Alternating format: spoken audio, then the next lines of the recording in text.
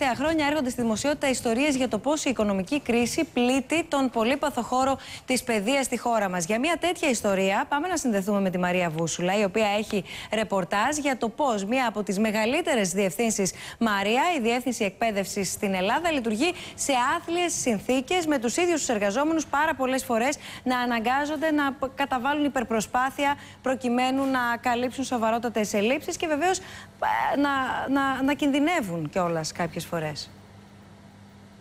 Σήμερα λοιπόν, Άννα, θα καταγράψουμε με την κάμερα της εκπομπής τι ακριβώς συμβαίνει στις διευθύνσεις εκπαίδευσης, όχι μόνο εδώ στην Αθήνα, σε όλη την Ελλάδα, ποια είναι η εικόνα, ποιες είναι οι συνθήκες κάτω από τις οποίες καλούνται να δουλέψουν οι εργαζόμενοι σε αυτές τις διευθύνσεις. Πριν ξεκινήσουμε να δώσω μόνο κάποια στοιχεία, για το τι ακριβώς είναι και ποια είναι η δουλειά των διευθύνσεων εκπαίδευσης. Οι διευθύνσεις εκπαίδευσης αναλαμβάνουν την εκπαιδευτική πολιτική. Βρίσκονται δηλαδή ανάμεσα στα σχολεία και στο Υπουργείο. Φροντίζουν για τα κενά, φροντίζουν για την ύλη, φροντίζουν για τις εξετάσεις. Όλα περνούν από εδώ. Θα ξεκινήσουμε λοιπόν με την εικόνα με τον Γιάννη το Χλεμπάκο που είναι στην κάμερα.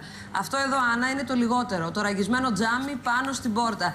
Κοιτάξτε εδώ στο χώρο που βρίσκεται η κεντρική μονάδα ψήξης και θέρμανσης. Τι ακριβώς συμβαίνει; Ακαθαρσίες πτηνών παντού και να φανταστούμε όλοι μαζί πώς αυτός ο αέρας βγαίνει από τα κλιματιστικά, πώς αυτός ο αέρας έρχεται μέσα εδώ στο χώρο. Μου περιέγραφαν νωρίτερα και οι καλεσμένοι μας που θα συναντήσουμε στη συνέχεια το καλοκαίρι δεν μπορούσαν να ανοίξουν ούτε το παράθυρο. Να σου πω ότι κάνουν έρανο για να μαζέψουν χρήματα, να φέρουν καθαρίστρια να καθαρίσει. Ότι για να στείλουν ένα έγγραφο στο Υπουργείο Παιδείας έβαλαν λεφτά από την τσέπη τους για να πληρώσουν το ιοκούριερ και για να, να τους εξυπηρετήσει. Είναι πάρα πολλά τα περιστατικά. Δεν έχω χρόνο να τα παραθέσω εγώ. Θα μας τα πείτε εσείς τι ακριβώς συμβαίνει και θα μου επιτρέψει, Άννα, μόλις μας δώσουν τον πρώτη, την πρώτη εικόνα από τι συμβαίνει στις περιφέρειες, mm. να δώσουμε και το ρεπορτάζ από το Υπουργείο Παιδείας και την Περιφέρεια για να δούμε τελικά τι είναι αρμοδιότητα, τι αρμοδιότητα είναι αυτό το θέμα, αυτό το ζήτημα, προκειμένου να δοθεί η λύση. Θα ξεκινήσω από τον ε, Πρόεδρο, από τον κύριο Αθανασιάδη. Κύριε Αθανασιάδη, έχουμε δει ακόμη και ντοσιές εξόδους κινδύνου. Ναι, έτσι ακριβώς. Έτσι ακριβώς. Ε, τα προβλήματα στις διευθύνσεις εκπαίδευσης δυστυχώς ε, είναι τεράστια. Εδώ είναι, βρισκόμαστε στη διεύθυνση πρωτοβάθμιας εκπαίδευσης Α Αθήνας. Αντίστοιχα, υπάρχουν προβλήματα είτε πολύ μεγαλύτερα είτε μικρότερα και σε άλλες διευθύνσεις. Ε, Δυστυχώς, ε, οι εργαζόμενοι, ε, μιας και είναι επίκαιροι και οι αξιολόγηση, καλούνται να αξιολογηθούν σε δομές που ακόμη δεν έχουν αξιολογηθεί. Σε κτίρια κατάλληλα, με συνθήκες απαράδεκτες, όπου αναγκάζονται οι ίδιοι να πληρώνουν τις ε, καθαρίστριες ε, ή να φέρουν τα υλικά καθαριότητα να τα αγοράζουν για να καθαρίσουν οι ίδιοι. Ε, απαράδεκτο αυτό. Ε, και δεν είναι μόνο αυτό, είναι ότι προκειμένου ένας εργαζόμενος να μπορέσει να αποδώσει στην εργασία του, θέλει και τα απαραίτητα εφόδια. Θέλει τους κατάλληλους ε, ε υπολογιστές. Ε, θέλει τα φωτοτυπικά να μην είναι χαλασμένα, να μην βγαίνουν οι κόλλες Α4 είτε τσακισμένες, είτε να μην φαίνεται, να μην αποτυπώνεται το έγγραφο επάνω στην κόλλα. Δυστυχώς όμως αυτά συμβαίνουν. Αυτά, όλα αυτά, κύριε Θανασιάδη, έχουν... όση, όση ώρα σας ακούμε και βλέπουμε και αυτές τις πραγματικά τριτοκοσμικές εικόνες από το εσωτερικό της ε, υπηρεσίας. Όλα αυτά εδώ και πόσο καιρό συμβαίνουν. Θέλω να πω, είναι αποτέλεσμα της ε, οικονομικής κρίσης, των περικοπών και, εν πάση περιπτώσει, όλης αυτής της στενότητας, ή υπήρχαν και πριν. Εδώ βλέπουμε μια ρημαγμένη εικόνα. Ε, σίγουρα, σίγουρα ε, έχει παίξει μεγάλο ρόλο ε, η, οικονομική, η τραγική οικονομική κατάσταση της χώρας. Ε, αλλά το κυριότερο πρόβλημα είναι ότι ενώ το, τις πιστώ, οι πιστώσεις για τις λειτουργικές δαπάνες των διευθύνσεων και για το κτηριολογικό, την ενοικίαση των κτηρίων, την ε, αποκατάσταση βλαμών, βλαβών, να σας δώσω να καταλάβετε, υπάρχουν διευθύνσεις με βουλωμένες αποχετεύσεις, με σάπιες πόρτες. Με τζάμια σπασμένα πάνω από τα κεφάλια εργαζομένων. Εργαζόμενοι πέρσι το χειμώνα που μας πέρασε ε, δεν είχαν θέρμανση. Είχε τελειώσει το πετρέλαιο και δεν μπορούσαν να ζεσταθούν. Πέραν θερματικά σε διευθύνσεις ε, εκπαιδεύσει, φέραν θερματικά σώματα από το σπίτι τους, τα βάζαν στην πρίζα και έπεφταν οι ασφάλειες. Μιλάμε για τέτοιες τραγικές καταστάσεις. Το θέμα είναι ότι αυτό μπορεί να λυθεί.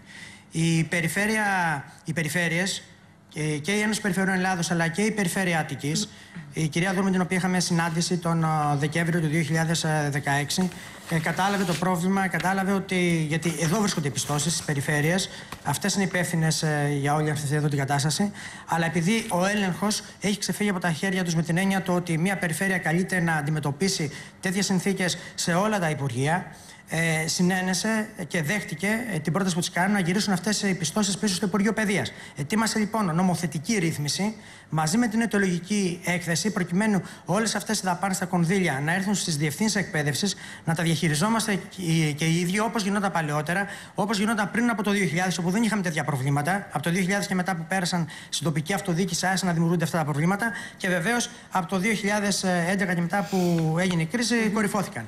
Ε, Δυστυχώς αρνείται μέχρι και σήμερα από το Υπουργείο Παιδεία ο, κύριο, ο κύριος Υπουργός. Εδώ θέλω λοιπόν το... και εγώ να προσθέσω, Άννα, για το ε, ρεπορτάζ. Ναι. Ότι επικοινωνήσαμε με το Υπουργείο Παιδείας για να ρωτήσουμε σε ποιον, ε, ποιος είναι υπεύθυνος για αυτή την κατάσταση. Από το Υπουργείο Παιδείας μας είπαν ότι το λειτουργικό κομμάτι ανήκει στην περιφέρεια. Είναι υπεύθυνη δηλαδή η περιφέρεια για την ενοικίαση κτηρίων. Και από τη στιγμή που ανήκει στην περιφέρεια, το Υπουργείο Παιδείας δεν έχει καμία ανάμειξη σε όλο αυτό το θέμα. Θα έρθω σε εσάς τώρα, κύριε Πέγκα, να μου πείτε, με τον κύριο Γαβρόγλου είχατε συνάντηση, γνωρίζεις και αυτή την νομοθετική ρύθμιση. Εμένα μου είπαν ότι δεν έχει καμία ευθύνη το Υπουργείο Παιδείας. Ε, ο κύριος Γαβρόγλου οφείλει να τη γνωρίζει, γιατί εμείς είχαμε και συνάντηση με τη διευθύντρια του κυρίου Γαβρόγλου, την κυρία Μουτζούρογλου. Είχαμε μεταφέρει όλα αυτά τα προβλήματα. Οι τραγικές συνθήκες που βιώνουμε καθημερινά είναι άθλιες συνθήκες. Ε, Προσφάτως στη ΓΑΜΑ Αθήνα, στη διεύθυνση που εργάζομαι, κάναμε έρανο γιατί οι κατσαρίδες είχαν πάει παντού και πάνω στα εγγραφεία. Ε, από την περιφέρεια δεν ε, μπορούσαν, δεν ήταν σε θέση να μας παρέχουν απολύμανση.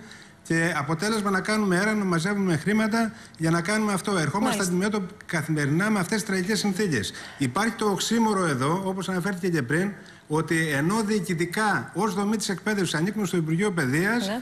Ε, όμως έχουμε το οξύμορο οι λειτουργικές δαπάνες να είναι στην περιφέρεια. Η περιφέρεια δεν μας βλέπει ως άμεσους συνεργάτες, ναι. μας βλέπει ως κάτι διαφορετικό που ανήκουμε κάπου αλλού, με αποτέλεσμα να βιώνουμε αυτές τις καταστάσεις και να πηγαίνουμε απλά στο μέλλον χωρίς να είναι βεβαίως ε, οικονομικό το θέμα δεδομένων των συνθήκων, είναι και θέμα διαχείρισης. Αυτό αντιλαμβανόμαστε.